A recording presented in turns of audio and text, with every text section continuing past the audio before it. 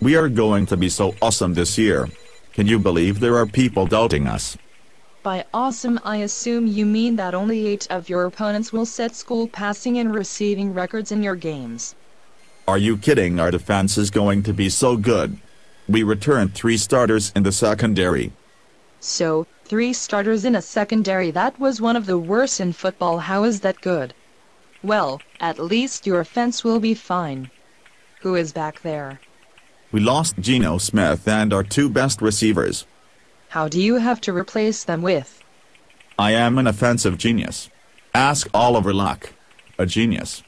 That is great. Do you plan to actually recruit any good players? Because Bill Stewart is dead and the players he recruited are gone. Are you accusing me of being a drunk? Because I am an offensive genius. I did not say that. Do you have any booze with you? I could use a drink. But I am not a drunk. I am an offensive genius.